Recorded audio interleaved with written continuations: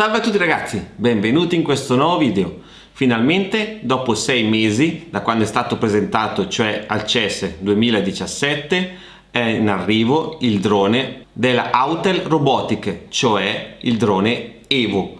Uscirà il 25 di giugno con diciamo le, la vendita verso i primi di luglio. Praticamente si accavallerà con l'uscita del Parrot Anafi. Non so se è stata una strategia di marketing, se è stata una casualità, comunque questi due droni si accavalleranno nella loro uscita. Sicuramente il drone di Parrot, cioè Anafi, è più nella fascia del Mavic Air, mentre questo drone Levo di Autel Robotic è eh, più nella fascia del Mavic Pro. Quindi sono due fasce di prodotti un po' diversi, però diciamo che eh, fa specie il fatto di uscire praticamente in contemporanea. Se poi aggiungiamo il fatto che verso la fine di giugno DJI dovrebbe presentare un nuovo prodotto, dovrebbe essere il Mavic Pro, ma forse si, adesso si mormora anche che potrebbe essere uno Spark 2, quindi staremo a vedere. Comunque sicuramente a fine di giugno DJI presenterà un nuovo prodotto. Quindi diciamo che l'estate per i droni è un'estate molto bollente. Sicuramente Autel quando aveva presentato questo drone, cioè l'Evo, aveva sicuramente scatenato molta attenzione verso di sé, perché comunque era diciamo il primo drone pieghevole eh, che sulla carta sarebbe stato meglio del Mavic Pro. Meglio intendo con delle caratteristiche in più rispetto al Mavic Pro. Però adesso quando uscirà, cioè a fine giugno questo prodotto ma poi se verrà presentato il Mavic Pro 2 sicuramente ci sarà un, un, altro passo avanti di DJI quindi diciamo che i competitor in questo momento secondo me sono sempre un passo indietro nel senso che quando loro lanciano un prodotto che sulla carta è meglio di quello che c'è attualmente di DJI o meglio con delle caratteristiche superiori a quello che ha al momento DJI DJI è già pronto a rilanciare un nuovo prodotto. Quindi sono sempre secondo me un passo indietro però sicuramente questo è un prodotto che dalle caratteristiche sulla carta è veramente veramente valido nel senso che ha sicuramente delle potenzialità enormi Comunque adesso guardiamolo un attimo da vicino che comunque il 25 giugno è qua dietro l'angolo, quindi per chi è interessato a acquistare un drone potrà valutare anche questo prodotto. Anche se però ragazzi c'è una brutta notizia, nel senso che Outer Robotica ha deciso di non importare in Europa per adesso questo prodotto, quindi questo prodotto uscirà in America e in tantissimi altri stati, ma non in Europa quindi eh, per chi lo vuole acquistare ovviamente lo può acquistare direttamente dal sito Outlet Robotico o dagli store stranieri. Comunque in Europa non sarà venduto per il momento quindi non ci sarà un'assistenza europea e via dicendo. Quindi non so chi se la sente di spendere 1000 euro perché sarà più o meno quella la cifra. Adesso lo danno a 999 dollari il prezzo nel sito però dopo facciamo che sia anche meno. Comunque all'incirca 1000 euro a stare larghi spendere 1000 euro per acquistare un prodotto senza assistenza europea però poi ognuno fa col cacchio che c'ha voglia. Quindi eh, adesso guardiamo da vicino perché secondo me è un prodotto che merita di essere comunque osservato. Allora ragazzi questo è l'Evo di Outer Robotic, sicuramente un prodotto affascinante, anche dal punto di vista estetico secondo me è bellissimo perché ha questo diciamo muso che ricorda un po' eh, le automobili un po' retro perché ha questa mascherina con questa griglia davanti, questi due sensori che sembrano due fanali, cioè secondo me dal punto di vista estetico è molto curato, è arancione come tutti i prodotti della Outer Robotic ovviamente e eh, diciamo che eh, sicuramente ha delle caratteristiche tecniche che non sono per niente male.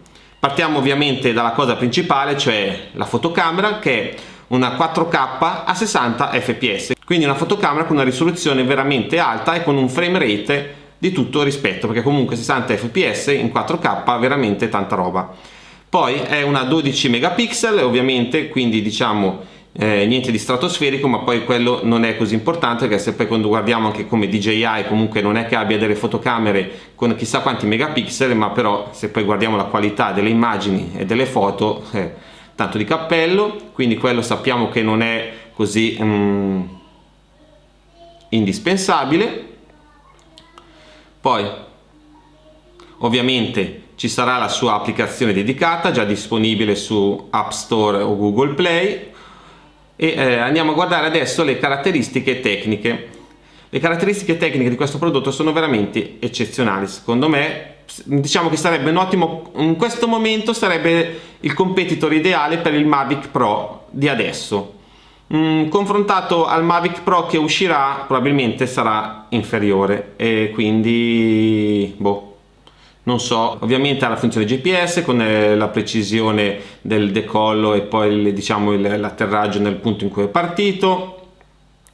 Ha una cosa secondo me interessante che è la batteria perché ha una batteria che dura veramente tanto nel senso 30 minuti di batteria che non sono per niente male. È una batteria da 4300 mAh da 11,4 volte. E diciamo che 30 minuti di volo sono veramente veramente tanti. Quindi sicuramente una cosa che eh, non è niente male per questo drone anzi perché sulla carta comunque dei minuti in più rispetto al Mavic Pro attuale la cosa che mi ha incuriosito è il fatto che ha um, solo una connessione a 2,4 GHz, cioè sia per quanto riguarda il, la connessione tra um, radiocomando e drone, cioè per controllare il drone, sia per quanto riguarda il ritorno video eh, nel nostro eh, telefono.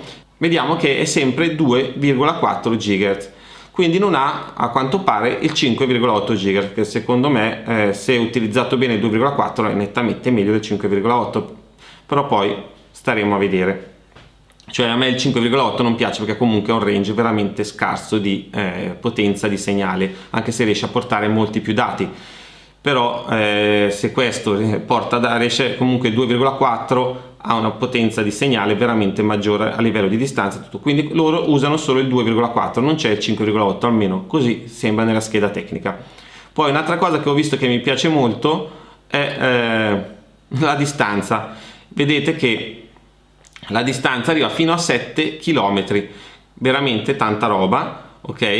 C'è la possibilità ovviamente FCC CE eh, ovviamente questo sarà i 7 km saranno sicuramente in FCC comunque veramente veramente tanti chilometri.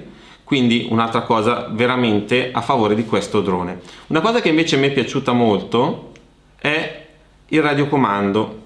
Perché se noi andiamo a vedere il radiocomando è molto molto bello. Uno perché è piccolissimo e poi ha il supporto del telefono vedete che va sopra al radiocomando che a me piace molto di più rispetto a DJI che lo tiene qua in basso. Comunque questo radiocomando veramente veramente piccolo. Vedete come sta nelle mani. E la cosa interessante è che ha un display quindi non è necessario per forza collegare uno smartphone perché comunque ha un piccolo display che ci fa vedere cosa sta inquadrando e con tutti i dati che servono per volare. Ovviamente nel display dello smartphone si hanno molti più dati perché comunque il display è più grande, questo è piccolino, però è veramente veramente carino e ovviamente abbiamo anche tutti questi dati simili a, a vedete dove c'è scritto GPS mode e questi altri dati sotto che poi sono molto simili a quelli del Mavic Pro come mh, mm, sistema di display, però il Mavic Pro ovviamente non ha poi un display a colori, abbiamo sempre bisogno di collegare lo smartphone, questo in realtà no però devo dire che è veramente veramente carino. Forse è fin troppo piccolo nel senso perché se lo guardiamo in mano veramente è piccolissimo sembra quasi un sproporzionato alle mani è veramente piccolo però devo dire molto molto bello. Una delle funzioni che ha ovviamente è quella di seguire il soggetto, quella ormai vabbè ce l'hanno quasi tutti, l'importante è come viene fatta quella cosa ovviamente, perché eh, seguire il soggetto e mantenerlo sempre diciamo a, a contatto con il drone è veramente una cosa difficile da fare soprattutto quando si, ci si sposta velocemente. Ovviamente DJI è in grado di farlo, vedremo se anche Outer Robot è stato in grado perché tanti altri droni sì lo fanno, ma se solo si aumenta un po' la velocità dei movimenti viene perso il soggetto poi ovviamente è in grado di eh, mm, evitare gli ostacoli, eh, però sembrerebbe che i sensori li abbia solo davanti, dietro no, come ha invece il Mavic Air, come invece si dice che avrà mh, mm, il eh, Mavic Pro 2 dove avrà i sensori probabilmente anche nei fianchi e anche sopra almeno così si mormora. Comunque questo dovrebbe averli solo nella parte anteriore e quindi non nella parte posteriore come invece ha anche il Mavic Air.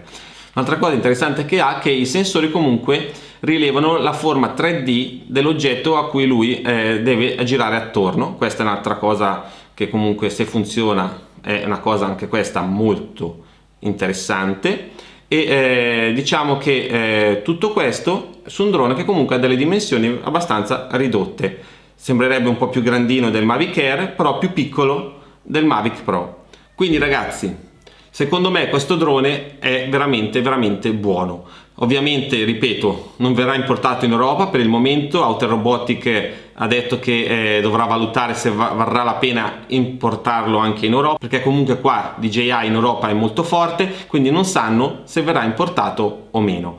Speriamo di sì, perché almeno eh, avere comunque un competitor anche in Europa per DJI è una cosa secondo me che fa bene al mercato, come anche Anafi, anche se non lo considero eh, Anafi un rivale perché comunque eh, secondo me eh, poi dopo con la cosa dei prezzi o meno DJI alla fine, mh, nel senso che se uno deve spendere tot soldi tra DJI e Parrot probabilmente decide per DJI secondo me però è sempre un bene avere un più competitor perché comunque eh, fa migliorare i prodotti perché c'è più sviluppo nei prodotti, i prezzi scendono perché comunque viene anche una concorrenza a livello di prezzi, quindi fa bene. Però in questo caso peccato che per adesso questo drone non venga importato in Europa, quindi ripeto, chi lo vuole acquistare lo può acquistare direttamente dal sito Outer Robotic, dovrebbe essere possibile l'acquisto già dai primi di luglio e eh, speriamo che Outer Robotic decida di importarlo anche in Europa perché comunque eh, acquistare un drone da 1000 euro circa perché il prezzo se adesso noi andiamo a guardare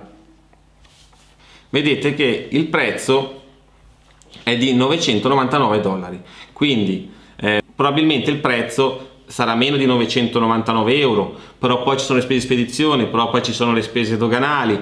Quindi tutte queste cose che in realtà il prezzo boh calcoliamo il 1000 euro tanto per dire una cifra più o meno, è spendere 1000 euro per un prodotto che non è venduto in Europa, quindi acquistato con una garanzia fuori Europa, quindi se si ha un problema o meno non si ha un'assistenza qua e questo ovviamente è un peccato per adesso, ma speriamo che questo cambi. Quindi ragazzi preparatevi a un'estate bollente perché probabilmente a fine giugno verrà presentato anche un prodotto di JI, quindi abbiamo in uscita il Paro Tanafi in vendita dal primo di luglio poi uscirà questo Evo della Autel Robotic anche questo in vendita dal primo di luglio e eh, DJI che presenta un nuovo prodotto a fine giugno. Quindi ragazzi l'estate dei droni si presenta un'estate veramente veramente calda. Come al solito ragazzi se il video vi è piaciuto lasciate un grosso pollice su iscrivetevi al canale se non l'avete ancora fatto e ci vediamo nei prossimi video. Ciao